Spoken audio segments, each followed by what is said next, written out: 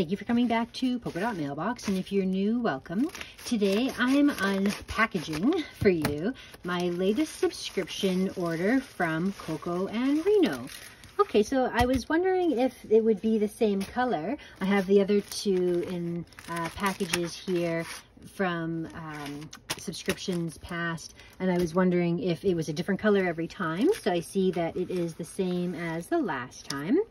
And these are the slot cutting dies. So I was a little disappointed because they actually had a cute backpack die that they released the same time as this.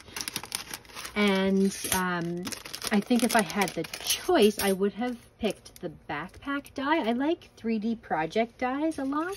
I'm not disappointed to have this, but this isn't something that I would have um, sought out getting. And which leads me to let you know that I've actually canceled my subscription. And the reason why I've canceled my subscription is the main uh, die set that I really wanted were the circle cutting dies, which I think are, yeah, that's this one here. I really liked this album project.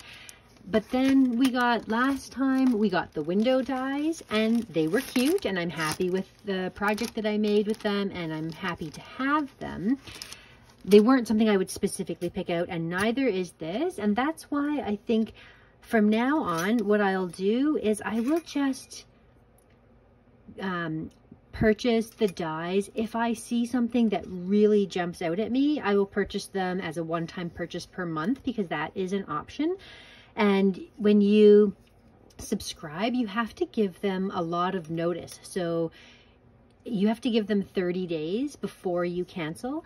So I actually canceled the day that these were announced so I don't get the next set of dies. And they actually even said to me, well, okay, we'll make an exception for you since you're letting us know now. I'm thinking it's within 30 days. So why is that an exception? Like it's exactly the right number of days.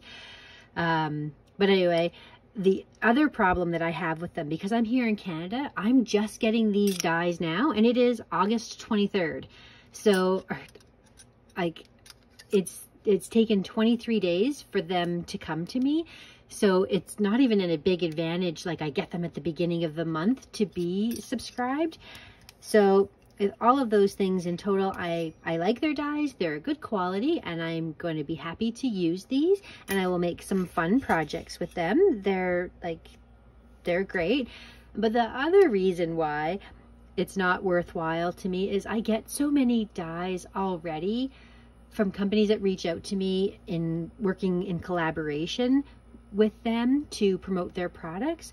So it really doesn't make sense for me to pay. And especially because I could actually even buy, even if those weren't collaborations, I could buy dies cheaper from other companies individually, getting what I want exactly.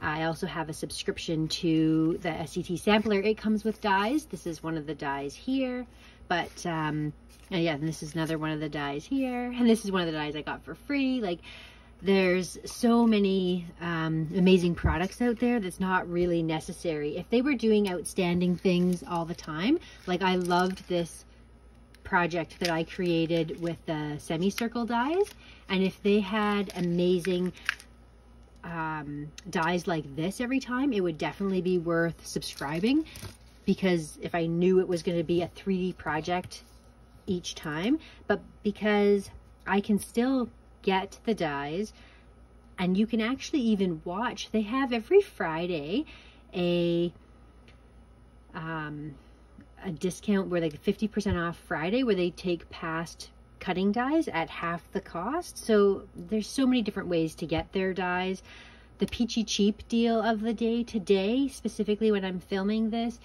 is a set of their dies for $13.99. So it, it just doesn't make sense for me to pay. And because of where I am in Canada, they end up costing me over $30 for each set of dies. So for the length of shipping, the unknown um, dies that we're getting, the fact that I get collaborations, and I get dies for free and I have other subscriptions that have dies with the words that I really enjoy. Um, there's just so many reasons. So that's why I've canceled, but I will keep watching for Coco and Reno dies as they come out each month, each month. And if there's something really amazing, then I will uh, just go ahead and make a one-time purchase and, and buy those dies individually. So these are the sets here. You're basically able to make little card holders.